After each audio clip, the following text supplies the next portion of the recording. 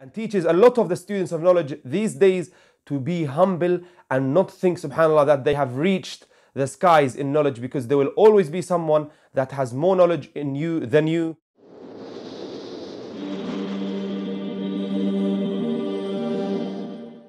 الحمد لله رب العالمين والصلاة والسلام على أشرف الخلق سيدنا محمد وعلى آله وصحبه ومن تبعهم بإحسان إلى يوم الدين أما بعد Assalamu alaikum wa rahmatullahi wa barakatuhu, my beloved brothers, sisters, and viewers. Welcome to today's episode. We are, alhamdulillah, halfway through the book of Allah subhanahu wa ta'ala as we are speaking today about the 15th juz in the Quran, which starts with Surah Al Isra, a great surah with many great lessons and gems that we can take from this surah, inshallah ta'ala, whilst we are reciting it today, bi'idhnillahi ta'ala. Allah subhanahu wa ta'ala mentions in this surah at the beginning Al-Masjid Al-Aqsa and the blessings of Al-Masjid Al-Aqsa and its its value in the religion of Islam. And Allah Azza wa speaks about how the Bani Israel the Jews will enter it and they will ruin subhanallah the place. And Allah Azza wa next speaks about the effect of Quran in guidance. And He says, Subhanahu wa ta'ala, إن هذا القرآن يهدي للتي هي أقوم ويبشر المؤمنين Allah subhanahu wa ta'ala tells us that the Quran is what will guide and is not only that is its guidance, no, it is the best of guidance and therefore through this blessed month of Ramadan, through this program, Quran changed me. We hope and ask Allah subhanahu wa ta'ala to make us of those that will take the best of guidance, the guidance of the book of Allah subhanahu wa ta'ala. Allah subhanahu wa ta'ala then He speaks about the dunya and speaks about the akhirah. And He tells us of the situation that those people that will be running after and their goal is this dunya and then he will also subhanahu wa ta'ala speak of those that their goal is the akhirah and the destiny where they will be ending up. And Allah subhanahu wa ta'ala will show us and tell us the result and the destiny of each party and where they will be ending up subhanallah. We ask Allah subhanahu wa ta'ala to make us of those that will think of the akhirah and that their goal is to enter Jannah and make it inshallah ta'ala our most priority that we think of in this dunya ya Rabbal Alameen. Allah subhanahu wa ta'ala then mentions 20 commandments starting from وَقَضَى رَبُّكَ أَلَّا تَعْبُدُوا إِلَّا إِيَّاهِ starting with tawheed and subhanallah being kind to parents and Allah Azza counts 20 commandments to the world and these commandments subhanallah are the ideal subhanallah situation and result in regards to the matters that, that, that got to do with morals and, and akhlaq and the issue of social, subhanallah, uh, matters. Subhanallah, reading and reflecting and pondering upon these 10, uh, sorry, these 20 commandments, bi'idhnillah, will make a big change in our life and trying to act upon them, starting from yourself. Change yourself first and change through the Quran as it is the best of guidance and the guidance of our beloved Prophet Muhammad sallallahu alayhi wasallam. Allah subhanahu wa ta'ala then speaks of the mushrikeen and rejects all that they claim and come with and rejects subhanallah and destroys any partners that they are associating with Allah subhanahu wa ta'ala. Allah Azza wa also speaks next about a dialogue that happens between Allah Azza and Iblis when Allah subhanahu wa ta'ala creates Adam alayhi salam. And after that, Allah subhanahu wa ta'ala gives directions to our beloved Prophet Muhammad sallallahu alayhi wasallam and how he should be dealing with the mushrikeen and how he should not lean or go towards them eh, for anything and to rely only on Allah subhanahu wa ta'ala. But not only that, but to reject and criticize and show the faults in the mushrikeen. Allah subhanahu wa ta'ala then shows us signs from this in the universe that that are proof of the oneness of Allah subhanahu wa ta'ala. We should reflect upon them and ponder upon them and take a lesson and feel how much of the universe and of the things Allah subhanahu wa ta'ala mentions make us feel the greatness and glory and oneness of Allah subhanahu wa ta'ala.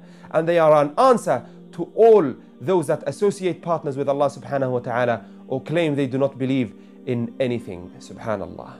And then at the end of the surah, Allah subhanahu wa ta'ala also comforts our beloved Prophet Muhammad sallallahu alayhi wasallam with the story of Musa alayhi salam with Fir'aun and how Fir'aun rejected and accused Musa salam of lies and of magic and so on and so forth. And he, Allah Azza wa Jal continues to comfort our beloved Prophet Muhammad sallallahu with telling him the Quran will be revealed from Allah subhanahu wa ta'ala upon the heart of our beloved Prophet Muhammad. Not only that, but also Allah Azza wa Jal tells the Prophet sallallahu and tells in the entire world how the Quran will be guidance and will guide those that will recite it and have fear in Allah subhanahu wa ta'ala that it will lead them to doing prostration straight away between the hands of Allah subhanahu wa ta'ala when reciting the book of Allah. We ask Allah to make us of those khashi'een and khashi'at. Allahumma ameen. Then Allah subhanahu wa ta'ala in the last part of the 15th juz in Surah Al-Kahf, He speaks about many things and there are many lessons for us that we must take. And this surah, subhanAllah Azza in it, Surah Al-Kahf, speaks about four different types of fitan, of fitan and tests that one can fall into or be uh, tested with, subhanAllah. Firstly, Allah Azza wa speaks about the fitna of deen, and the, then the fitna of mal, money. And then Allah subhanahu wa ta'ala speaks about the fitna of knowledge. And lastly, the fourth one is Allah Azza wa speaking about the fitna of strength, quwwah. Subhanallah, which this part, the last one, is spoken about in the next juz. Lakin we must take lessons from these three different fitan that are covered in this juz. Firstly, the fitna of deen. And in this, subhanAllah, is where the story of Ashabul Kahf, the people of the cave. And subhanAllah, it shows us a lesson for all of those young brothers and sisters that grow up in as Muslims, subhanAllah, uh, of ideal situations to stay firm on the deen of Allah subhanahu wa ta'ala. And from this is these boys that came together collectively believing in Allah subhanahu wa ta'ala and they had run away from the fitna. They did not want to be in a place where Allah Azza wa was being, subhanAllah, where people were sinning uh, uh, and, and subhanAllah going against the, the law of Allah subhanahu wa ta'ala. And Allah subhanahu wa ta'ala, what in result, He protected them and they went in the cave and the, until the rest of the story. Allah subhanahu wa ta'ala then speaks about the fitna of money and gave an example of the two men one that was rich and did not believe in the day of resurrection and the other one that was poor and believed in, in Allah subhanahu wa ta'ala and Allah subhanahu wa ta'ala tells us the destiny and where each one will be ending up subhanallah take lessons from this and we ask Allah to not make us fall into the fitna of love for money and that it is more than the love of Allah subhanahu wa ta'ala and His Messenger in our hearts. The third fitna that Allah subhanahu wa ta'ala speaks about and we should take lessons from in this surah is the, the, the matter of knowledge and the fitna of knowledge. And it, in it, Allah Azza wa gives us an example of the story of Musa alayhi salam and the Khadr or Khidr uh, alayhi salam, alayhima salam. And Allah subhanahu wa ta'ala in it makes many lessons for the students of knowledge and for the scholars and the teachers and shuyukh and dua.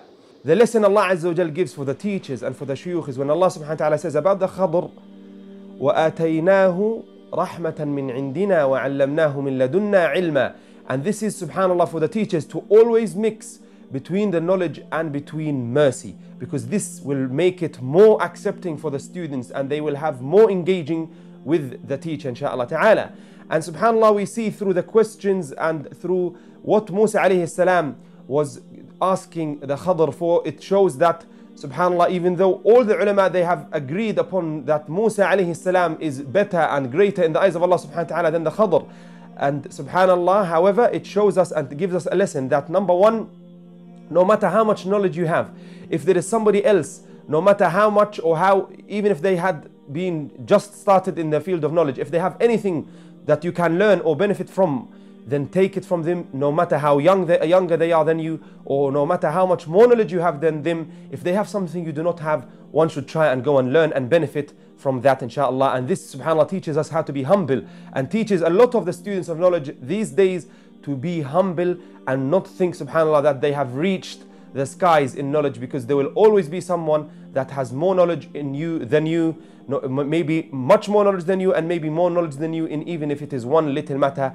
So humble yourself to Allah subhanahu wa ta'ala and know that there is a lot until we meet Allah Azza that we will still not be able to learn and will not be able to learn subhanallah and as well when we look at the story of Al-Khadr and Musa alayhi salam we will realize subhanallah how the adab that Musa alayhi salam had with the Khadr and even in the way he would ask Al-Khadr uh, uh, subhanallah in the questions that he had in seeking the knowledge. I ask Allah subhanahu wa ta'ala to make us of those that will benefit from the verses of Allah subhanahu wa ta'ala and from the words of Allah subhanahu wa ta'ala in this Quran and to make this Quran a guidance for us and to make us all from the people of Quran. Allahumma ameen. With this, my beloved brothers and sisters, we will end the episode today. And until our next episode, please remember me in your dua, and I will do the same, inshaAllah ta'ala. May Allah subhanahu wa ta'ala have mercy on us all. May Allah accept from us all our fast, our tilawah of Quran, and our qiyam of layl. Jazakum Allahu khairan wa barakallahu fikum, my beloved brothers and sisters. Assalamu alaikum wa rahmatullahi wa barakatuh.